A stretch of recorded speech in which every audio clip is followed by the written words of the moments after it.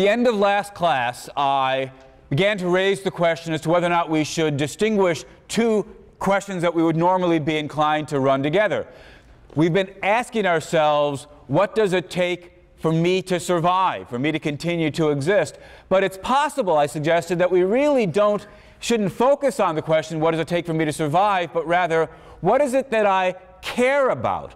What is it that matters in survival? Because it's possible, logically speaking, that there could be cases in which I survive, but I don't have what I normally have when I survive, and so I don't have what matters. I don't have what I wanted when I wanted to survive. It could be that in the typical cases of survival, I've got that extra thing but we can think of cases in which I would survive, but I don't have that extra thing, and so I wouldn't have everything that matters to me. So, as, as it were, we might say, it might be that mere survival or bare bones survival doesn't really give me what matters. What I want is survival plus something else. And I tried to motivate this question by having you think about perhaps the possibility that the soul view was the truth about personal identity, but imagine a case of complete irreversible amnesia while nonetheless it's still your soul continuing. But the soul is going to then, having been scrubbed clean, get a brand new personality, new set of memories, new set of desires, new set of beliefs, no chance of recalling your previous current personality. And when I think about that case, I find myself wanting to say, all right, I'll survive, but so what? I don't care. It doesn't matter that it's me in that case because I don't just want it to be me. I want to have there be somebody that's me with my personality. Similarly, suppose we thought that the body view was the correct view, and we imagine again some sort of case of complete amnesia. And so then we get a new personality, and you say, oh, look, that, that's going to be you. Your body, your brain, you're still around. And I say, well, it could be true, but so what? It doesn't give me what I want when I want to survive. What I want isn't just for it to be me, I want it to be me with, with, with my personality. So, should we conclude, therefore, that what really matters is not just survival, but having the same personality.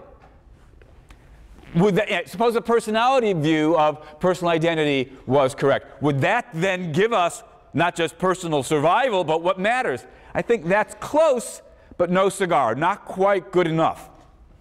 To see that, recall the fact that according to the personality view as a theory of personal identity, the crucial point isn't that my personality stay identical it's not that I have to keep all exactly the very same beliefs, desires, memories, because of course if we said that, then you know I die as soon as I got a new belief. I die as soon as I forgot anything at all, like what I was doing 20 minutes ago.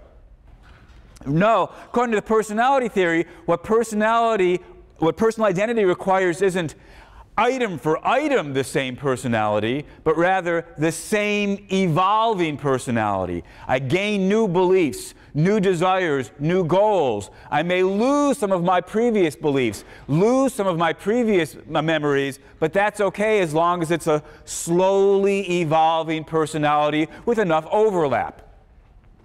Okay, so now let's consider the following case. I start off, here I am.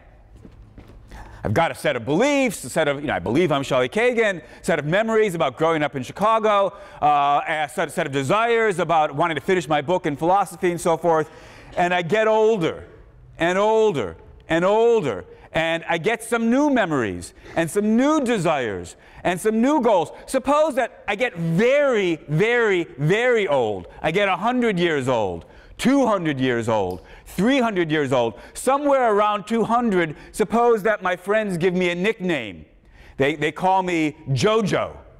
Who knows why? They call me JoJo. And after a while, somewhere the name spreads. And by the time I'm 250 years old, everybody's calling me JoJo. Nobody calls me Shelly anymore. And by the time I'm 300, 350, 400, I've forgotten anybody used to call me JoJo. And I no longer remember growing up in Chicago. I remember things about my, about my youth when I was a lad of a hundred. But I can't go back to what it was like in the early days, just like you can't go back to what it was like to be four or three.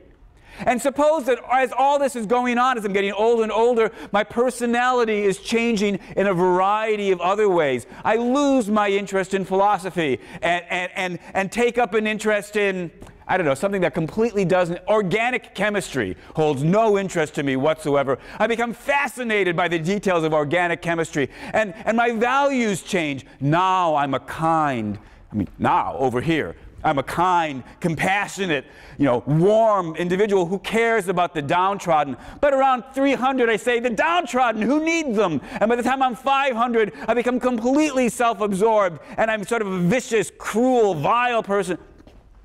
Here I am, 800 years old, 900 years old. Methuselah, in the Bible lives for 969 years. He's the oldest person. So, okay, here I am, 969 years old. I'm like Methuselah. Call this the Methuselah case. And the crucial point about the case is that we stipulate that at no point was there a dramatic change it was all gradual, slow, evolving, in just the way it happens in real life. It's just that as Methuselah, I live a very, very, very long time. And by the end of it, and indeed, let's say somewhere around 600 or 700, I'm a completely different person, as we might put it. I don't mean literally, I mean in terms of my personality. Now, remember, according to the personality theory of personal identity, what makes it me is the fact that it's the same evolving personality. And I stipulated that it is the same evolving personality. So that's still me that's going to be around 600 years from now, 700 years from now.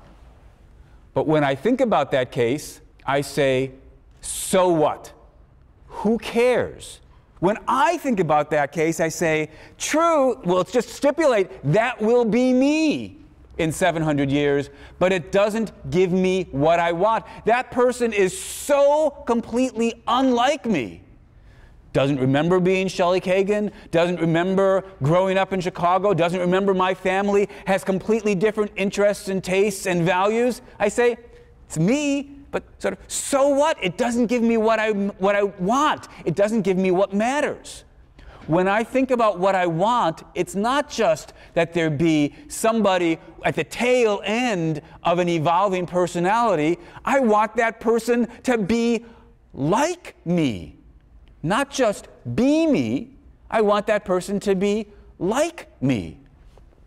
And in the Methuselah case, I've stipulated, ends up not being very much like me at all. So it doesn't give me what I want. When I think about what I want, I'm just going to invite you to, each one of you, to ask yourself, what is it that you want? What matters to you in survival? When I think about what matters to me, it's not just survival, it's not just survival as part of the same ongoing personality, it's survival with a similar personality. Not identical item for item, but close enough to be fairly similar to me.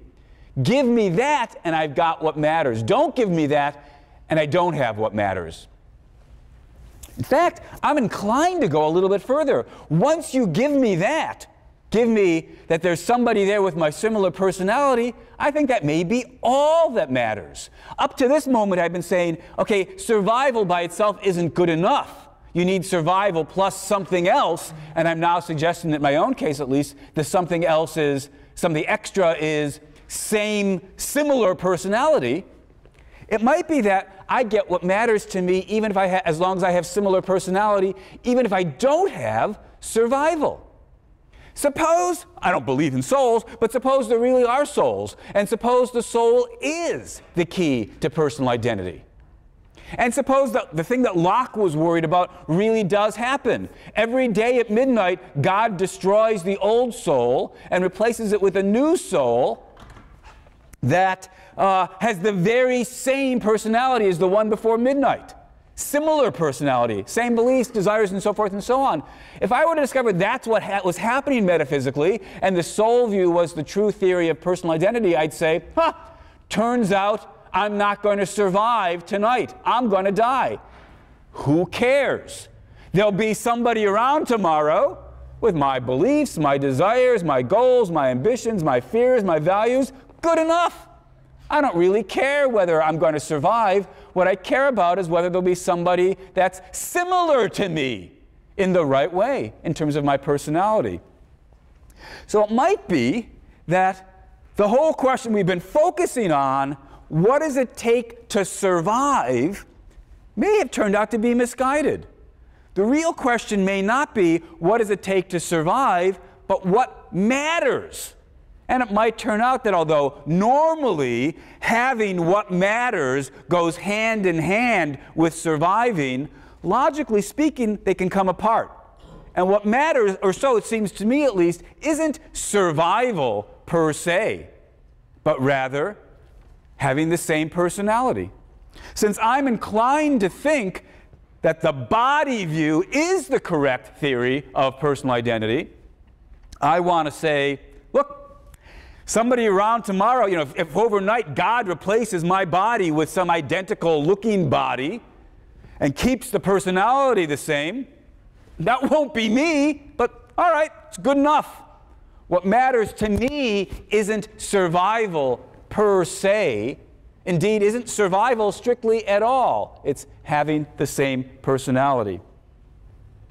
Still, what does that leave us? That leaves us with the possibility that there could be cases where you die and you don't survive. You know, maybe God swoops me up upon death. You know, my body dies, but he sort of swoops up my information about my personality and recreates somebody up in heaven with, you know, the similar personality. Won't be me if it's a different soul, won't be me if it's a different body.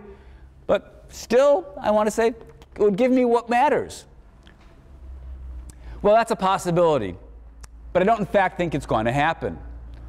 I believe, as I've told you, I'm a physicalist. I believe that what's going to happen is at the death of my body, that's going to be the end. Now, what I've been arguing is that, logically speaking, even if you are a physicalist, that doesn't rule out the possibility of survival.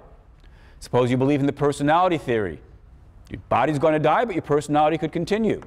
Or it might be, even as a body theorist, I'll cease to exist, but what matters will continue. These are possibilities, but for what it's worth, I don't in fact believe they're actually what's going to happen. Of course, you know, these are also theological matters, and so I'm not trying to say anything here today to argue you out of the theological conviction that God will resurrect the body or God will transplant your personality into some new angel body. But if you, the, if you believe in the personality theory, that will be you, what have you. I'm not, it's not my goal here to argue for or against these theological possibilities, having at least taken the time to explain philosophically how we could make sense of them. But I do want to report that I don't believe them. I believe that when my body dies, that's it for me. There won't be anything that's me afterwards. There won't be anything that's, even though what I want per se isn't survival, not only won't I survive, I believe after my death, what matters to me in that situation won't continue either. There won't be somebody with a similar personality to mine after the death of my body. All right. So, having spent all this time getting clearer about the nature of personal identity and getting clearer about uh, you know, what, what people are and, and the possibilities of survival and so forth, having argued against the existence of souls and for a physicalist view, physicalism seems compatible with both the body view and the personality view. Leave it to you to decide between them. I myself currently favor the body view. Let's ask so, just what is death anyway on the physicalist view? Might seem as though it's fairly straightforward. A person, after all, is just a body that's functioning in the right way so as to do these person tricks. It's P functioning, as we've put it at one time or another. And so a person is just a P functioning body, whether you emphasize the body side there or the personality side of that, of that equation. What exactly is it to die? When do I die? Let's, let's turn to that question. When do I die? And what is death? The, roughly speaking, the answer, presumably, on the physicalist view is going to be something like if, you, if, if I'm alive when we've got a P functioning body, roughly speaking, I die when, when that stops happening, when, when the body breaks and it stops functioning properly. That seems more or less the right answer from the physicalist point of view, although, as we'll see probably later today, we need to refine it somewhat. But first, let's ask a slightly different question. Which functions are crucial in defining the moment of death? After all, We've got the idea that here's the body, here's a functioning body, here's one in front of you, each one of you's got one. You're a functioning body. There's a variety of functions that your body's engaged in. Some of them have to do with merely digesting food and moving the body around and making the heart beat and the lungs uh, open and close and call those things the bodily functions. And there's also, of course, in each one of our cases, there's these higher mental cognitive functions that I've been calling the person functioning. The, you know, the, there's, the, there's, there's the B functions and there's the P functions. Well, roughly speaking, I die when the functioning stops, but, but which functions? Is it the body functions or the personality functions? So let's take a look at the normal situation. Right, here's the existence of your body. And during most of the existence of your body, it's functioning.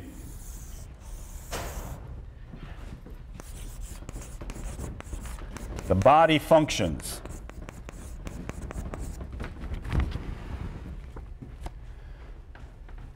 Over here, it's no longer functioning. It's a corpse.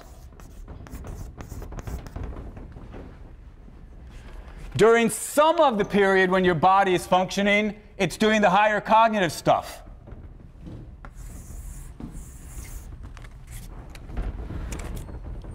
So it's personality functions.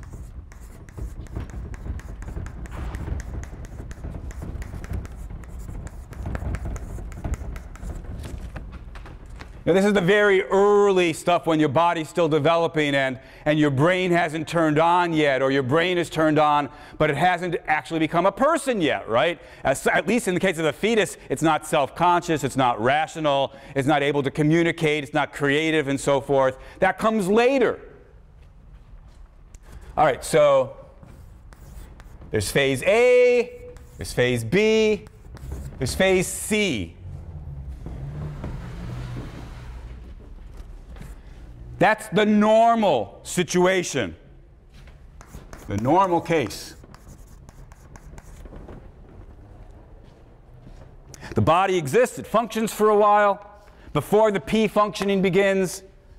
And then after a while, the body and P functioning are both going on. And then after a while, they stop. In the normal case, you know, I'm in a car accident or whatever it is, and my body stops functioning, my personality stops functioning, and you're left with a corpse. When did I die? Well, the natural suggestion is to say, I died here. You know, draw my little star, an asterisk. In the normal case, I die when my body stops functioning in terms of the body functions, and it stops functioning in terms of the personality functions.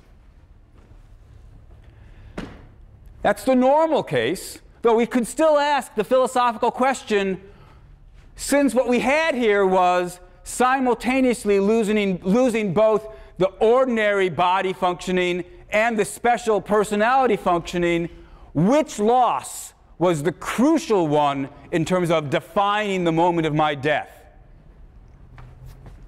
Let's come back to that question in a minute. First, I want to ask a slightly different question. When did I cease to exist?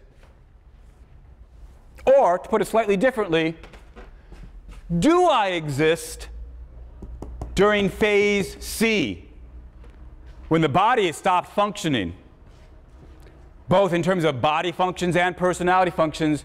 I'm just a corpse. Do I exist? Now, let's suppose we believe the personality theory. of personal identity. According to the personality theory of personal identity, for something to be me, it's got to have the very same personality, the same evolving, but still the same set of beliefs, desires, goals, so forth. Now, during period C, there's nothing with my personality. Right? Nobody thinks they're Shelly Kagan. Nobody has my memories, beliefs, exact desires, goals, and so forth. Pretty clearly, then, on the personality theory, I don't exist at phase C. That's why it's natural to point to the moment of star when we say that's when my death occurs. I don't exist at phase C. But interestingly, things look rather different if we accept not the personality theory, but instead the body theory.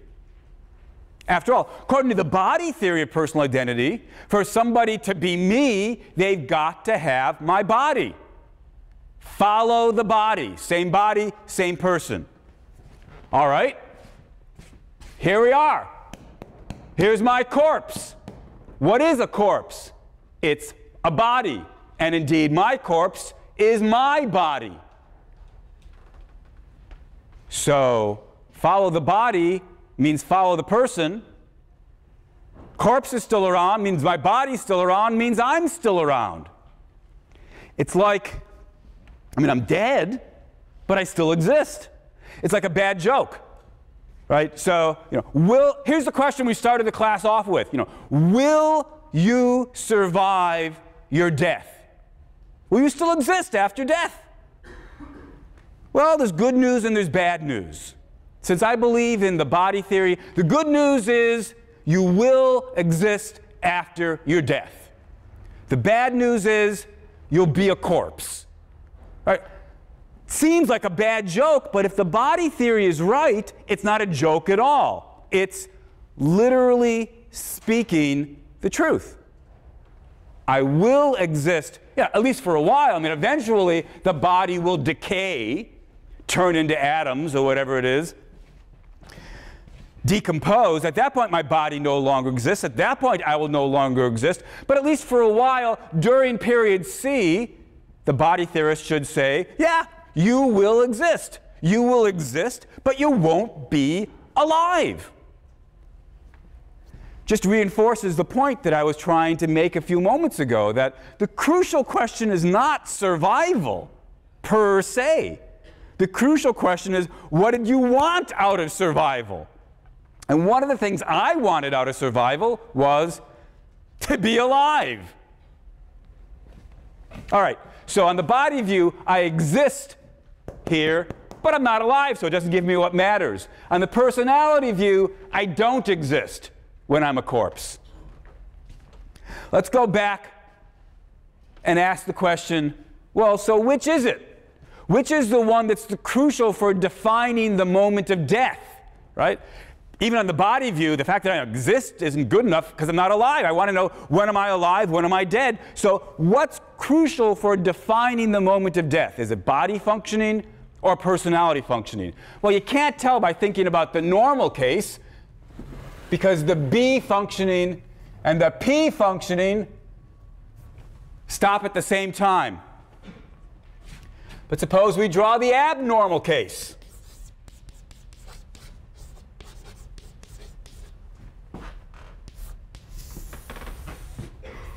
All right, here's C with the corpse again. Here's a period when the body's been functioning and goes like this.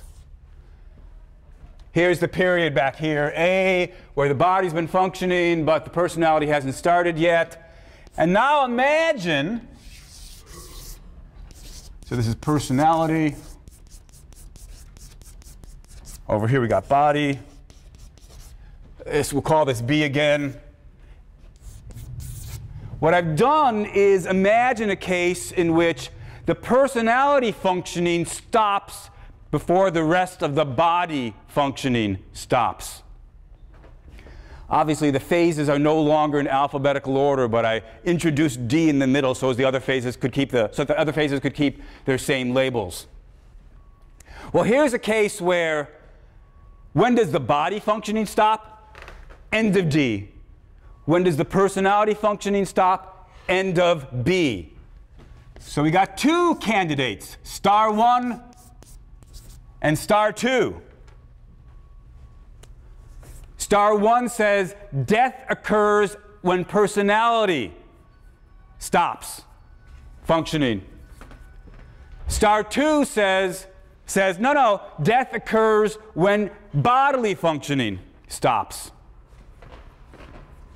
Well, again, question is, what should we say? And I think we're going to perhaps be drawn to different answers depending on whether we accept the body view or the personality view. Suppose we accept the body view.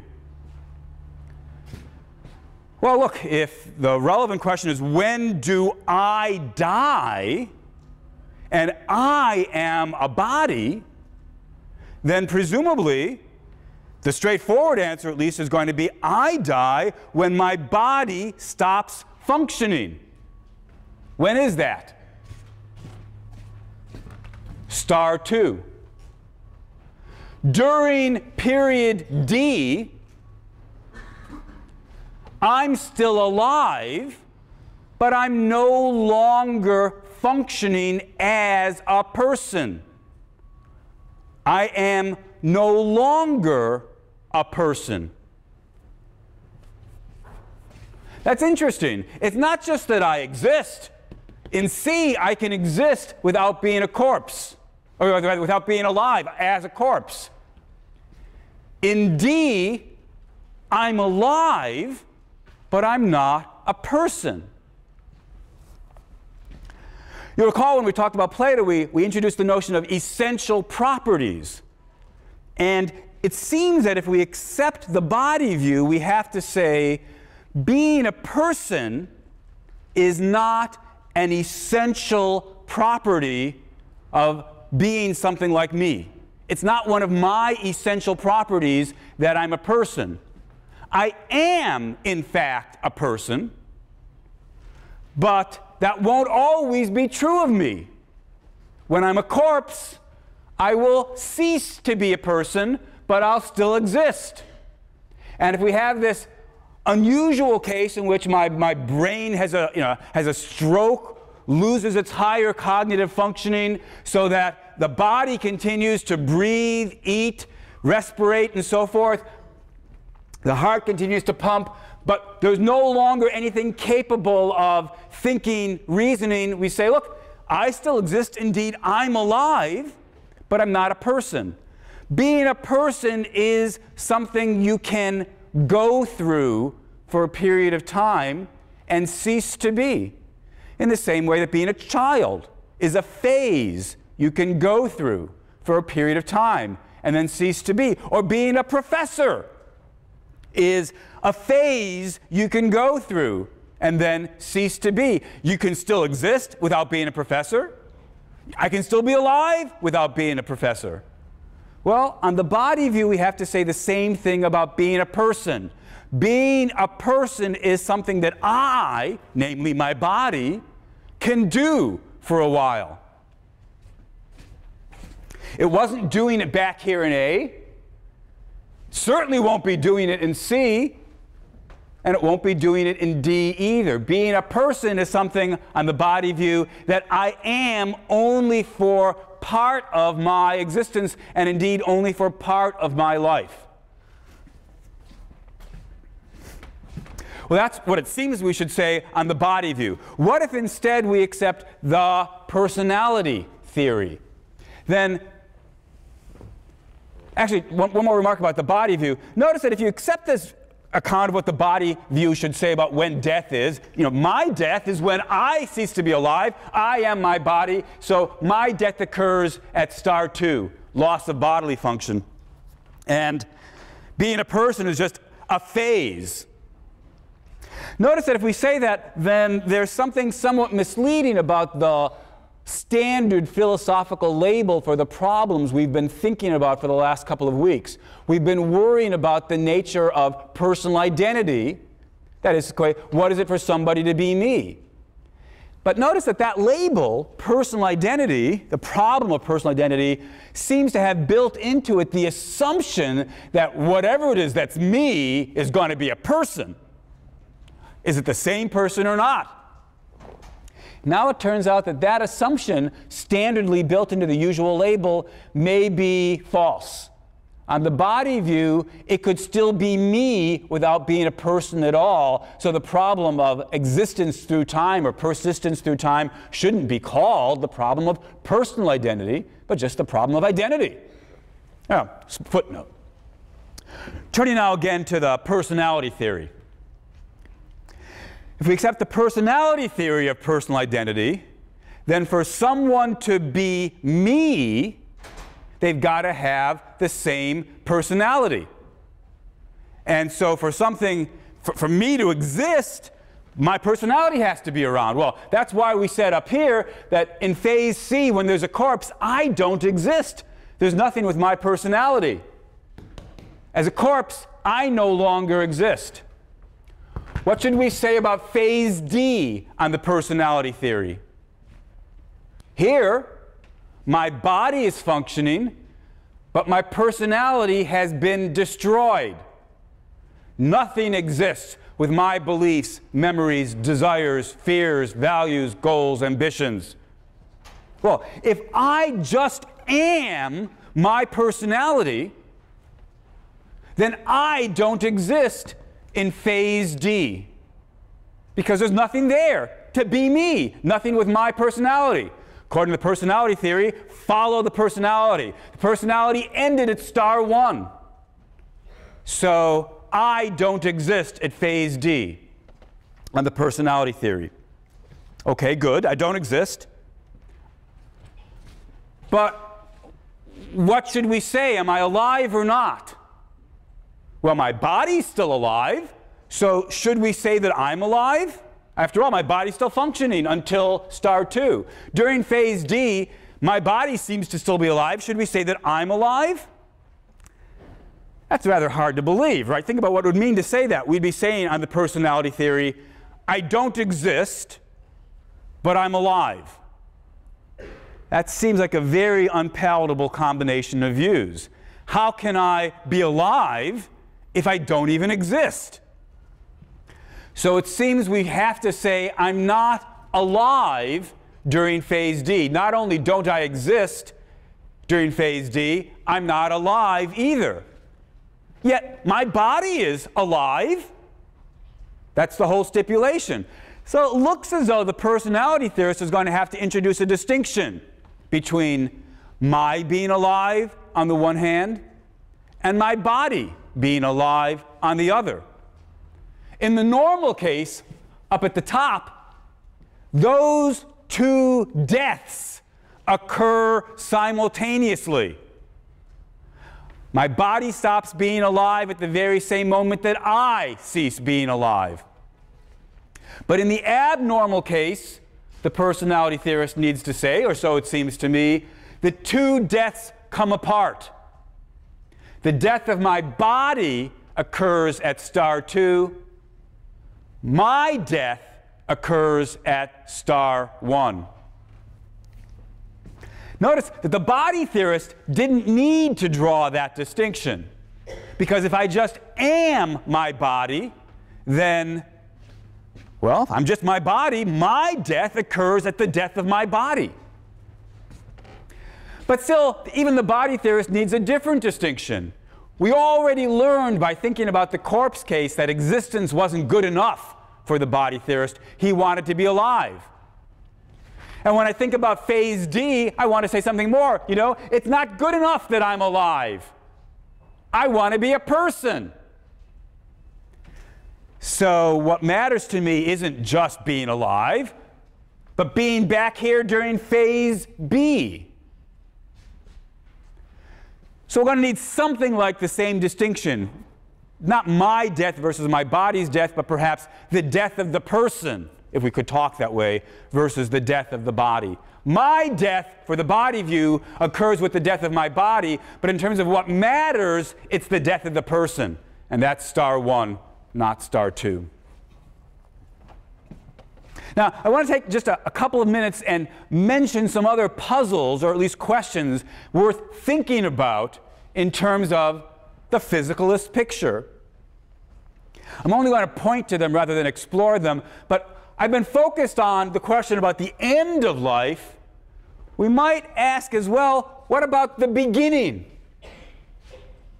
What should we say about phase A when the body is turned on and functioning, developing, but the brain has not yet gotten to the stage at which it's turned on, or perhaps it hasn't yet become, well, it's not doing person functioning. It's not rash, it's not reasoning, it's not communicating, it's not thinking, it's not aware, it's not conscious. It's going to be some phase A like that. What should we say about that phase? Do I exist during that phase or don't I? Well, on the body view, I suppose we should say I do exist. Being a person's a, a phase, we happen to have in phase A the stage of my existence before I become a person. Of course, if we take the version of the body view that what I am, essentially the crucial body part, is my brain, then we really would have to subdivide A into two parts early A and late A. You know, in very, very early A, the brain hasn't even developed yet. It hasn't been constructed yet. If I just am my brain, in effect, then early A, I don't exist yet. Not until late A, when the brain gets put together, that I start to exist. There's something there. It's my body, but it's not me in early A. Seems sort of hard to believe, but maybe that's the right thing to say. In any event, the fans of the personality theory shouldn't be laughing too hard because they're going to have to say something similar. Remember, if you accept the personality theory, Follow the personality. Don't got the same personality, I cease to exist. That's why we said on the personality theory, as we went ahead in time, once the P functioning stops, I don't exist anymore. That's what the personality theorist said. But we can raise that same point going backwards. When did I begin to exist on the personality theory? Not until my continuing, evolving through time personality started. And that certainly wasn't true way back at the start of A. As the, as the fertilized egg first begins to split, multiply, subdivide, and make organs, it's a good long time till any kind of mental processing occurs at all. So, on the personality theory, I did not exist when that fertilized egg came into being. When the, when the egg and the sperm joined, that's still not me on the personality theory. Clearly, these issues are relevant for thinking about the morality of abortion. I'm not going to pursue them here, but you can see how they'd be, be relevant. If we want to worry about when, if ever, is an abortion justified, it might be worth getting clear on when do creatures like us start? Well, interesting question, but having noted it, let me put it aside. Ah, question. Um, is it possible that in A, especially in the very early stages of A for an embryo or fetus, you could say the body isn't functioning either because um, it's completely dependent on the mother's body for its survival, and it can't even it can't breathe or anything on its own. All its bodily functions are just the question was would it be plausible to say that at the early phases of A, strictly speaking, the body's not functioning because it's so utterly dependent on help from the mother's body?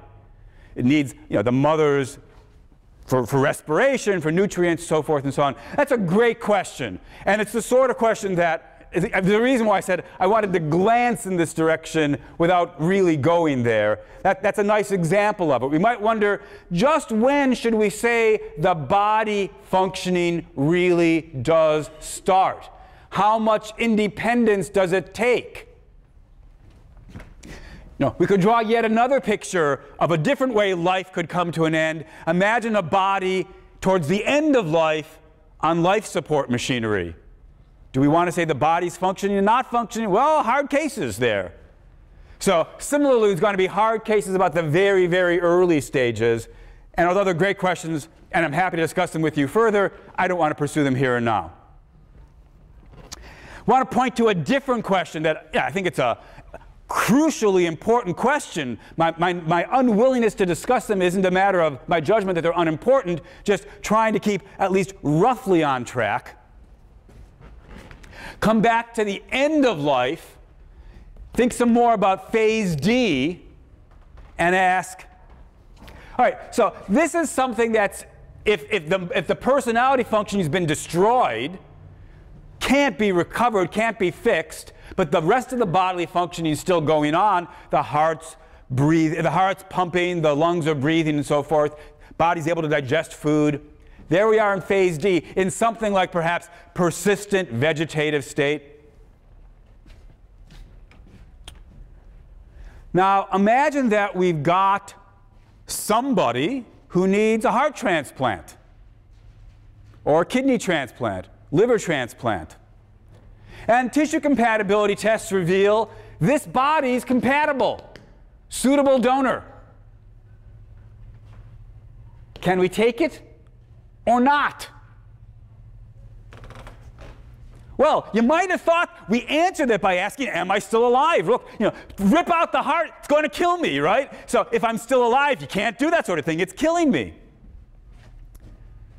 Well, if we take the personality theory, we have to say, My body's still alive, but I'm not still alive. That's what we seemed we wanted to say. If I'm not still alive, all we'd be killing isn't me, but my body. So now we have to ask who or what has the right to life? Do I have the right to life? Or does my body have the right to life? Or we might say, look, certainly I have a right to life, but is it also true that in addition to me, my body has a right to life?